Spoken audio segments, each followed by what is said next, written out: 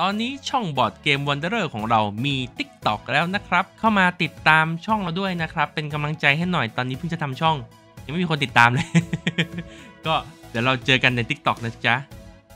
สวัสดีครับทุกคน Jay-C จาก Board Game Wanderer นะครับ วันนี้ในช่วงทำเซียนเหมือนเรียนมานะ เราจะมาสอนเล่นเกมนี้นะครับ e v e r d a l e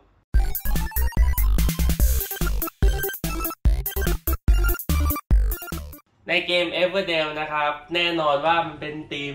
มุ้งมิ้งนะครับ สัตว์น้อยสัตว์ใหญ่นะครับ ที่จะต้องมาสร้าง city ของเรานะครับ สร้างเมืองนะแล้วก็จะมีชาวเมืองมาอยู่นะครับ ตาม critter นะมาอยู่ตาม construction ของเรานะครับ เดี๋ยวไปดูวิธีการเล่นกันเลยครับผม อันนี้เป็นหน้าตาของการ setup นะครับใน rule book เนาะเขาจะบอกไว้เลยว่า เราจะต้องต่อต้นไม้ยังไงนะครับ แล้วก็วางต้นไม้วาง worker ยังไงนะครับสำหรับ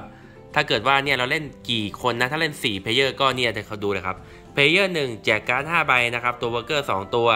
player 2ได้การ์ดมากขึ้น 1 ใบนะครับแล้วก็ 3 กับ 4 ก็ได้การ์ดมากขึ้นเรื่อยๆนะครับเป็นเรื่องของแฮนดิแคปนะวางการ์ดไว้ตรงกลางนะครับแบบนี้นะครับจั่วการ์ดมา 8 ใบวางไว้ตรงกลางนะครับแล้วก็จะมีการ์ดสำรับทั้งหมดเนี่ยไว้ใต้ต้นไม้นะครับต้นอ่า Ever Tree นะแล้วก็จะมีตัว special event นะครับ4อัน เราก็ shuffle มานะครับแล้วก็วางไว้แล้วสุ่มไว้นะ วาง resource ทั้งหมดนะครับ resource เกมนี้เนี่ยมันจะมีทั้งหมด 4 อันนะครับ จะมีไม้มีเรซินมี pebble นะครับแล้วก็มีตัวของเบอร์รี่นะ แล้วก็ตรงนี้จะเป็นตัวของ basic อ่าอีเวนต์นะครับมันจะมีทั้งหมด 4 อันนะ เป็นเหมือนตัวทำคะแนนเสริมให้กับเรานะครับ แล้วก็อ่ามันจะมีอันนี้มันเป็น basic ใช่ไหมอันนี้มันจะเป็น forest นะครับ ก็ เราก็สุ่มครับ แบบนี้ผม setup สำหรับ 2 คนนะ ถ้าเราเล่นแค่ 2 คนเนี่ยครับ เราก็จะแจกการ์ดนะครับ คนแรกได้ 5 ใบ คนที่ 2 ได้ 6 ใบนะครับ แล้วก็ตัวเนี่ยมันจะมีตัวของ worker นะครับ2ตัว เราจะเริ่มจาก worker แค่ 2 ตัวนะครับ เกมนี้อย่างที่ผมบอกไปเป็นเกมแนว worker placement นต์นะครับ เพราะฉะนั้นเนี่ยเราจะต้องผัดกันนะครับ วางตัว worker ของเรานะครับ อย่างเช่น อันนี้เราเป็น first player ใช่ไหมเราก็เปิดการ์ดครับ อันนี้คือเราอยู่ในมือเรานะ คือเป้าหมายหลักของเกมเราเนี่ยคือการสร้างเมืองเราครับ สร้างเมืองเราให้ยิ่งใหญ่นะครับ แล้วก็ได้คะแนนมากที่สุดนะ ทีนี้เนี่ยในเมืองเราเนี่ยครับมันจะมีการ์ดอยู่ 2 แบบนะครับ คือการ์ดของ critter กับการ์ดของสิ่งก่อสร้างนะครับ อะ อันนี้คือ 3 ตัวเนี้ยคือ critter นะครับสัตว์ 2ใบนี้คือสิ่งก่อสร้างนะครับ สิ่งปลูกสร้างอ่า สิ่งปลูกสร้างเนี่ยมันจะมี cost ที่ต้องจ่ายครับ อย่างเช่นการ์ดใบนี้นะครับ เรียกว่าฟาร์ม การ์ดฟาร์มเนี่ยเขาบอกว่าถ้าเกิดเราอยากสร้างใบนี้ครับ เราจะต้องจ่าย 2 ไม้กับ 1 เรซินนะครับ ก็จะสามารถสร้างการ์ดฟาร์มได้ แล้วการ์ดฟาร์มเนี่ยมันจะเป็นการ์ดที่มีสัญลักษณ์เนี่ยเป็นรูปต้นไม้เนี่ยครับเหมือนเป็น production นะแล้วก็ความ ความ rare ของการ์ดใบนี้คือ common construction นะครับ มันจะมี common กับ unique นะ เหมือนจะเป็นไอตัว common เนี่ยสร้างกี่ใบก็ได้ครับ แล้วก็ตัวของ unique เนี่ย มันจะมีได้แค่ใบเดียวในหมู่บ้านเรานะครับ แล้วก็ถ้าคุณเห็นสัญลักษณ์เล็กๆเนี่ยที่เป็นขีดๆเนี่ยครับ เนี่ยตรงนี้โป้งผมนี่เห็นไหม เป็นขีด 3 ขีดเนี่ยแปลว่าทั้ง deck เนี่ยจะมีการ์ด clock tower แค่ 3 ใบครับ ส่วนการ์ดฟาร์มเนี่ยมันเป็น common construction ใช่ไหมแล้วในทั้ง deck เนี่ยมันจะมีทั้งหมด 9 9 ใบไหม ตัวมันเล็กมากเลย ผมว่ามองแทบไม่เห็นนะครับ ก็เนี่ยมีประมาณเนี้ยแปดเก้าใบนะครับ แล้วเราก็จะสร้างกี่ใบก็ได้ครับในเมืองเรานะครับ แล้วพอเราสร้างปุ๊บเราจะได้ของเลย อ่านี่จำไว้นะ สร้างสร้างปุ๊บเราได้ของเลยนะครับ แล้วก็ทุกครั้งที่มีสัญลักษณ์แบบเนี้ยสัญลักษณ์แบบว่ารูปต้นไม้เงี้ยครับ ก็คือหมดซีซั่นเนี่ยเราจะได้ของจากสิ่งปลูกสร้างที่สัญลักษณ์ตรงกันนะครับ ก็อันนี้เป็นสิ่งปลูกสร้างนะ ทีนี้สิ่งที่น่าสนใจของเกมนี้คืองี้ครับ ปกติเนี่ยเวลาเราสร้างนะครับ สมมติว่าอะผมยังไม่สร้างอะไรเลยนะสักอย่าง แล้วผมสร้างฟาร์มนะครับในตาของผม สมมติว่าผมมี resource แล้วนะครับ ผมตาแรกผมเอาอาจจะเอาตัวของผมเนี่ยไปเอาไม้ครับ เอาไม้นะครับ 3 อัน โอเค หยิบยากเหลือเกิน เอาไม้ 3 อันนะครับมา แล้วก็เอาอีกตาหนึ่งนะครับ แล้วก็เอาเรซิน2 อัน นะครับ มาไว้ที่ตัว ตาต่อไปเนี่ยผมไม่มี worker แล้วใช่ไหมแต่ผมยังสามารถเล่นได้นะครับ เพราะว่าการจะลงสิ่งปลูกสร้างหรือว่าลงตัวของ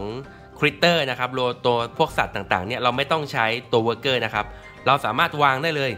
เราวางปุ๊บแล้วเราก็จ่ายไปนะครับ โอเค 2 ไม้นะครับ แล้วก็1เรซินนะ ผมก็จะได้ฟาร์มมาครับ แล้วฟาร์มเนี่ย มันก็จะให้ เบอร์รี่ผม1ลูกนะครับ ผมก็หยิบเบอร์รี่ด้วย 1 ลูกนะครับ ฟรีฟรีนะครับ เอาไว้ที่ตัวของ supply เรานะ ตาต่อไปเพื่อนก็เล่นใช่ไหมครับ จะทำเขาจะทำอะไรก็แล้วแต่เขาเลยครับ แต่ตาต่อไปของเราเนี่ย เราจะเห็นว่าตรงมุมขวาล่างของสิ่งปลูกสร้างเนี่ยครับ มันจะบอกว่า ตรงเนี้ยมันเป็นสิ่งปลูกสร้างไว้สำหรับใครนะครับ ใบเนี้ยเขาบอกว่าไว้สำหรับ husband หรือ wife นะครับ ก็เราก็เลือกครับ สมมุติว่าเราเนี่ย เห็นว่าตรงกลางเนี่ยครับมันมีตัวของ husband อยู่ เราก็สามารถหยิบ husband มาเล่นได้เลยครับ โดยที่เราไม่ต้องจ่าย cost เลย ปกติถ้าเราอยากเล่นการ์ด husband เนี่ยเราต้องจ่ายอ่าสามเบอร์รี่นะครับ แต่ถ้าเกิดว่าเรามีการ์ดใบเนี้ยมันเรียกมาอยู่ได้ฟรีครับ เราก็จะสามารถเอา husband มาอยู่ได้นะครับ หลังจากนั้นคุณก็หยิบใบนี้ครับ อันนี้มันเป็นแบบว่าประตูนะครับเนี่ยเราก็มาปิดไว้ครับ แปลว่าเราใช้ความสามารถของการ์ดใบนี้แล้วนะครับ จะได้ไม่เรียกซ้ำนะ แล้วก็เราก็ใช้ความสามารถของ husband ต่อครับว่ามันทำอะไรได้นะ husband เนี่ยมันต้องมี wife ด้วยครับ โอเค เดี๋ยวทีนี้เราจะมาพูดถึงเรื่องของ capacity นะครับ อันนี้มันเป็น basic ใช่ไหมการลงนะครับ ก็ลงจะเลือกสร้างบ้านหรือจะเลือกเล่นตัวของ critter แล้วก็จ่ายทรัพยากรไปนะครับ ทีนี้เนี่ยพอเราเล่นเสร็จแล้วใช่ไหมครับ เราสร้างอะไรต่อไม่ได้ละการ์ดบนมือผมสมมุติว่าเนี่ยผมมี 3 4ใบเนี่ยแล้วผมทำอะไรต่อไม่ได้ ผมไม่มีทรัพยากรแล้ว ผมอยากจะเอาตัว worker กลับนะครับ วิธีการเอากลับก็คือ ผมบอกว่าโอเค ผมเตรียมตัวไป season ต่อไปครับ ผมจะไปสปริงแล้วนะครับ ผมก็จะได้ worker เพิ่ม 1 ตัวครับเราก็ดูนะว่าเนี่ยผมเล่นเป็นตัวเม่นใช่ไหมครับ ผมก็ได้เม่นคืนมา 1 ตัว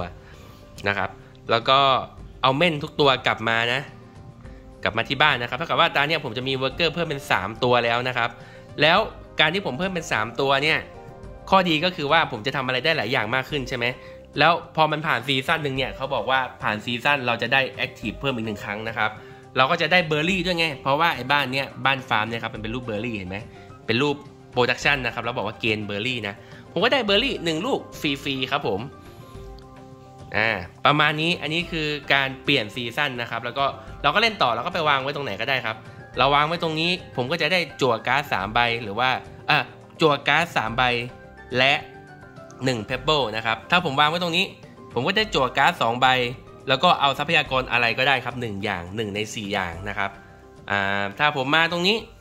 ผมจะได้2 berries นะครับแล้วก็จะได้ 1 การ์ดประมาณนี้นะ มีอะไรอีกมั่งอันนี้คือ 3 ไม้นะครับ อันนี้ 2 ไม้ 1 การ์ด อันนี้คือ 2 เรซิน อันนี้คือ 1 เรซิน1 การ์ด อันนี้คือ 2 การ์ด 1 คะแนนนะครับ คะแนนก็ไปหยิบมาจากตรงนี้มาไว้ที่ตัวเราเลย อ่าอันนี้คือ1 pebble นะครับ1 berry 1การ์ดแล้วก็ berry อย่างเดียว แล้วก็เราจะสังเกตว่าไอ้ตรงที่ที่เรายืนเนี่ยครับมันจะมี 2 แบบนะ มันจะมีเป็นวงปิดกับวงเปิดนะครับ วงเปิดเนี่ยแปลว่าวางกี่ตัวก็ได้ครับกี่คนก็ได้ เล่นกัน4คนเราจะเอาตัวมาวางกัน4คนเลยก็ได้ครับ แต่ถ้าวงปิดเนี่ยคือวางได้คนเดียวจบนะครับอ่าดูง่ายๆนะวงปิดกับวงเปิดนะครับประมาณนี้ ส่วนอ่า action อื่นที่น่าสนใจก็จะเป็น action ตรงนี้ครับ คือคุณอาจจะสังเกตได้ใช่ไหมว่าเอ๊ะเกมเนี้ยมันเริ่มต้นมาให้การ์ดมา 6 ใบ 5 ใบใช่ไหมห้าหกใบ แล้วคุณให้ worker มาแค่ 2 ตัว มันจะไปหยิบทรัพยากรพอที่จะสร้างการ์ดต่าง ๆ ได้ไงวะ มันมีตรงนี้ครับเป็นทางเลือกที่คุณทำได้ครับ คุณจะสามารถทิ้งการ์ด2ใบนะครับจากบนมือแล้วทุก ๆ 2 ใบเนี่ยจะสามารถจั่วทรัพยากรได้ 1 อย่าง อันนี้ก็น่าสนใจนะ เพราะว่า hand limit ของเกมเนี่ยคือ 8 ใบครับ สมมติคุณสะสมไว้ 8 ใบใช่ไหมแล้วคุณอยากเล่นจริง ๆ แค่ใบ2ใบเนี่ย คุณก็ทิ้งเลยครับ 6 ใบ คุณเอาตัวละครของคุณมาตรงนี้ปั๊บแล้วคุณทิ้งการ์ดครับ 6 ใบนะครับกองทิ้งอยู่ตรงนี้นะ สมมุติว่าทิ้งทิ้ง6ใบนะครับอันนี้คือ 6 ใบมันคือทั้งมือเลยดีกว่า ทิ้งอย่างเงี้ยเราก็ทิ้งไปครับพอทิ้งเสร็จเนี่ยปั๊บเราก็สามารถหยิบทรัพยากรได้เลยครับ 3 อย่าง ผมอาจจะแบบว่า เอ้ย ผมอยากได้ตัวของนี่มาก pebble มากนะครับ เพราะมันหายากเหลือเกิน หยิบมาเลย 3 อัน นะครับ แล้วก็คุณจะสร้างอะไรต่อก็เรื่องของคุณนะครับ ก็อันนี้เป็น action โดยรวมนะ ซึ่งไอ้ใบพวกเนี้ย forest เนี่ยครับ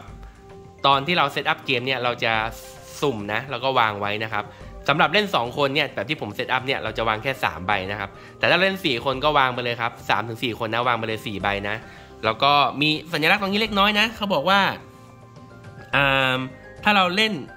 ไม่ถึง 4 คนเนี่ยครับเราจะวางได้แค่ช่องเดียว แต่ถ้าเราเล่น 4 คนเนี่ยเราจะวางได้ 2 ตัวนะครับ ในการทำ action นี้นะครับ ทุกครั้งที่เล่นการ์ดจากตรงกลาง อย่าลืมจั่วการ์ดนะครับ จั่วมาให้เต็มอ้าวเนี่ย wife อันเนี้ยคนเนี้ยเป็นคอมโบนะครับ อันนี้คือแนะนำหน่อย ถ้าเกิดว่าคุณมีฟาร์มแล้ว คุณมี husband แล้ว คุณสมควรเล่น wife ครับ เพราะว่า wife เนี่ยคุณต้องจ่าย 2 เบอร์รี่นะครับ คุณก็เอาเบอร์รี่คุณมา 2 ลูกนะครับ ตาคุณคุณก็จ่ายไปเพื่อซื้อ wife นะครับ การที่คุณซื้อ wife เนี่ย มันจะเป็นคอมโบนะครับ เพราะว่าตัวของ husband เนี่ยเขาบอกว่าถ้ามี wife ด้วยนะครับ ทุกทุกครั้งที่เกิด production เนี่ยเขาจะได้หยิบทรัพยากรนะครับฟรีหนึ่งอย่างนะครับ ก็เป็นเป็นการ์ดที่ต้องคอมโบกันนะ ส่วน wife เนี่ยถ้าเกิดว่าคู่กับ husband จากคะแนน 2 นะครับ จะได้เป็น 3 คะแนนนะ ก็จะมีคะแนนมากขึ้น อีกเรื่องหนึ่งที่สำคัญนะครับคือตัวของ capacity นะครับของเมืองของคุณ ในเมืองของคุณนะครับ จะมี capacity นะครับที่เราจะสามารถวางการ์ดได้เนี่ยแค่ทั้งหมด 15 ใบเท่านั้นนะครับ โดยปกติ formation เนี่ยเขาจะให้เป็น 5 คูณ 3 นะครับ แต่ว่าคุณก็ประยุกต์เอาก็ได้แบบผมเนี่ยโต๊ะแคบนะ ผมก็วางเป็นอย่างนี้ครับเนี่ยสามสามสามสามสามรวมทั้งหมดเป็น 15 ใบนะครับ แต่ความพิเศษคือการ์ดบางใบเนี่ยมันไม่นับเป็น 1 ตัวครับ อย่างเช่นตัวของ husband กับ wife เนี่ยครับ มันจะนับ 2 ตัวเนี่ยรวมกันเป็น 1 นะครับคือเหมือน 2 คนอยู่บ้านหลังเดียวได้นะครับ ถ้าเกิดผมเล่นอย่างเงี้ยแสดงว่าผมยังสามารถซื้อการ์ดได้อีก1ใบนะครับ ก็สมมติผมมีของพอแล้วเนี่ยตาผมผมก็ซื้อของมาวางได้นะครับเนี่ยปลูกบ้านได้นะ ซึ่ง school อย่างเงี้ยมันเป็น unique นะครับ เดี๋ยวผมมี school หนึ่งอันไม่ได้ไม่ได้ สมมติเอาเป็นตัวอื่นแล้วกันอะเป็นตัว wanderer แล้วกัน ผมก็ซื้อได้นะครับ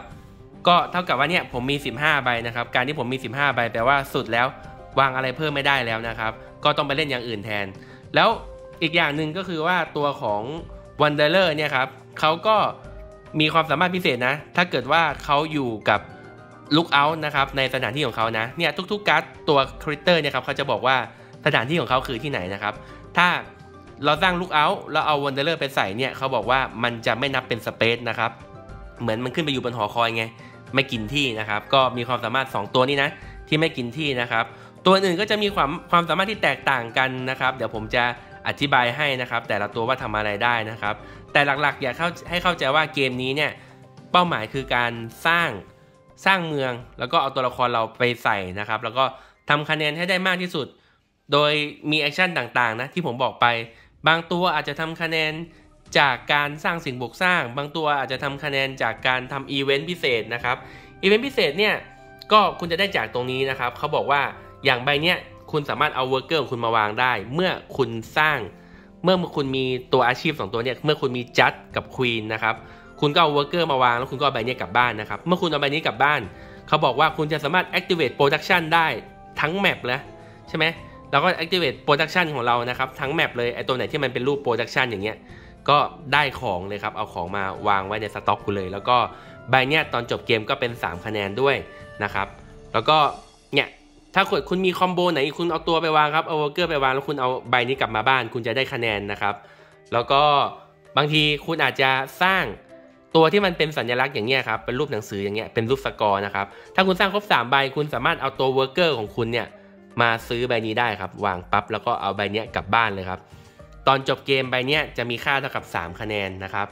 แล้วก็ใบนี้ก็จะใช้เป็นรูปเท้าเงี้ยเป็น grand tour นะครับ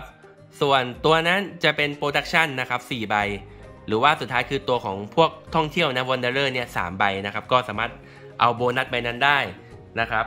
แล้วก็สุดท้ายนะ คือด้วยความที่ว่าเราอะค่อยๆ จะเพิ่ม worker ใช่ไหมครับ ตาแรกเนี่ยเรามี worker แค่ 1 ตัว ตา 2 เราเพิ่มอีก 1 ตัวนะแล้วได้จั่วการ์ดฟรี2ใบใช่ไหมครับ ตาสุดท้ายเนี่ยตอนที่เข้า autumn เนี่ยครับเราได้ worker อีก 2 ตัว เท่ากับว่าเราจะมี worker ทั้งหมดหกตัวแล้วนะเยอะมาก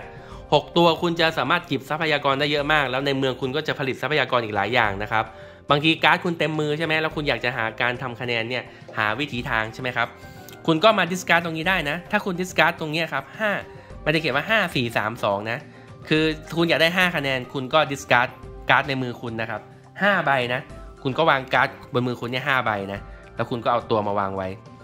ตอนจบเกมนะครับ คุณก็จะได้ 5 คะแนน หรือว่า คุณมีคุณยังมีอีก4ใบ เพราะว่าใน action ในเมืองคุณอาจจะมีการแบบจั่วการ์ดฟรีจั่วการ์ดฟรีคุณก็เอา4ใบมาคว่ำอีกนะครับ แล้วคุณก็วางตัวไว้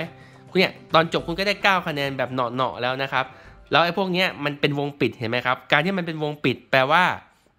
คนอื่นไม่สามารถมาแทรกได้นะมันวางได้คนเดียวนะครับ แต่ไอการ discard สองใบเนี้ยวางได้หลายคนนะครับ ก็เป็นวิธีการทำคะแนนวิธีการหนึ่งนะครับ อันนี้ก็เป็นแบบ action คร่าวๆนะ ก็ เอาง่ายๆครับ ผลัดกันเล่นนะวางวางตัวนะครับ worker แล้วก็คนอื่นก็เล่นต่อวาง worker ไป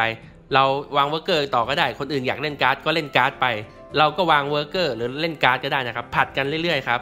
แล้วข้อดีคือเกมนี้มันไม่ต้องรอกันครับ หมายความว่ายังไง หมายความว่า สมมุติว่าผมเนี่ยยังวาง worker ไม่หมดนะครับ สมมุติว่าผมมี worker สามสี่ตัวแล้วใช่ไหมผมก็วางไอ้ตัวนี้ไปไปนี่แล้วกันเอาของ ไอ้ตัวนี้ไปนี่แล้วกันเอาของ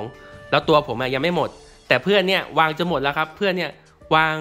วางไปเอาของนู่นของนี่จนหมดแล้ว เราไม่ต้องไม่ต้องรอกันครับ เพื่อนไม่ต้องรอให้เราเล่นหมด เพื่อนก็บอกว่าดังนั้นช่างงั้นฉันขอข้ามไป season ต่อไปเลยนะ อ่า แล้วเขาก็เก็บตัวกลับครับ การที่เขาเก็บตัวกลับ ก็คือหมด turn เขาแล้วใช่ไหมเขาเล่น action เขาไป เราก็ยังเล่นต่อได้นะ เราก็โอเคอ้าวเมื่อกี้นายขยับพอดีถ้างั้นเราขอตรงนี้แล้วกัน เราก็หยิบของต่อครับ แล้วเพื่อนเราเนี่ย ก็เขาขึ้น season ใหม่แล้วเขาก็เล่นต่อครับ เพราะฉะนั้นมันจะมีความ flow ของเกมครับ คือเราไม่ต้องมารอกันว่าโอเค ทุกคนต้องตัวหมดนะ เราถึงจะเริ่ม season ใหม่พร้อมกัน แต่เกมเนี้ยเราต่างคนต่างเล่นเลยครับ แค่ว่าใช้บอร์ดร่วมกันนะ แล้วก็ทุกๆ ครั้งที่มีคนจั่วการ์ด Meadow ก็อย่าลืมเปิดใบใหม่มาด้วยนะครับ แล้วก็พยายาม match กันนะ แบบที่ผมบอกนะครับ match กันว่าเนี่ยถ้าเราจะสร้างมีแผนว่าจะสร้าง Mine เราก็ดูไว้ว่าถ้าเรามี Mine เราก็สามารถเอา Miner เนี่ย Miner Mole มาได้ฟรีๆอย่างเงี้ยครับอันนี้เป็นเทคนิคง่ายๆนะครับคุณไปหา combo ต่อได้ combo มันง่ายมากนะครับสำหรับเกมนี้ ก็สุดท้ายนะครับ คือวิธีการจบเกมนะครับ การจบเกมของเกมนี้ง่าย ๆ ครับ เมื่อคุณเล่นการ์ดนะครับ แล้วก็ใช้ทรัพยากรใช้ worker จนหมด จนคุณไม่สามารถทำอะไรได้ ไม่สามารถหาคะแนนได้แล้วนะครับเวอร์เกอร์หมดแล้ว ตัวก็ไม่รู้จะลงอะไรต่อแล้วเนี่ย คุณก็บอกว่าผ่านนะครับ แล้วเพื่อนรอบวงก็บอกว่าผ่านผ่านผ่านเหมือนกันนะครับ ก็ถือเป็นการจบเกม เราก็จะมานับคะแนนครับว่าเราเนี่ยมีคะแนนเท่าไหร่นะครับ ก็บวกไปเลยครับเนี่ยมันมี 2 คะแนน 2 คะแนน 1 คะแนนบวกไปเรื่อยๆนะครับบางใบมันอาจจะมีความสามารถพิเศษนะครับอย่างเช่นใบเนี้ยมันบอกว่าสกูนะครับถ้าเรามีสกูเนี่ยเราจะได้ 1 คะแนนเพิ่มทุกๆ common critter ที่เรามีนะครับ common critter คือตัวไหนนะครับ อย่างเช่นตัวเนี้ยตัวเนี้ยก็เป็น common critter เหมือนกันนะครับ ดูที่ใต้ชื่อนะเนี่ยเราก็จะได้คะแนนเพิ่มนะครับ1คะแนนเราอาจจะคะแนนมาวางไว้ก็ได้ครับจะได้ไม่งง แล้วก็นับคะแนนบวกไปเรื่อยๆครับ การ์ดมันจะมีการ์ดโบนัสหลายอย่าง เพราะนั้นดูดีๆนะครับ อย่างตัวของอ่า King อย่างเงี้ย King เขาก็บวกคะแนน 1 คะแนนให้กับ event basic event ที่เราได้นะครับเนี่ยพวก basic event เนี่ยครับแล้วก็เขาจะบวก 2 คะแนนให้กับ special event นะครับก็คืออย่างเช่นไอ้พวกเนี้ยสี่ใบเนี่ยบวกไปอีก 2 คะแนนนะก็อันนี้เป็นความสามารถของ King นะครับแล้วก็ใบอื่นใบไหนมีคะแนนเพิ่มบวกให้หมดนะครับแล้วก็ออย่าลืมบวกคะแนนตรงนี้ด้วย บวกคะแนนตรงนี้นะใครมายืนทิ้งไว้นะครับ ก็ได้คะแนนเพิ่มอีก แค่นี้เองครับวิธีการนับคะแนน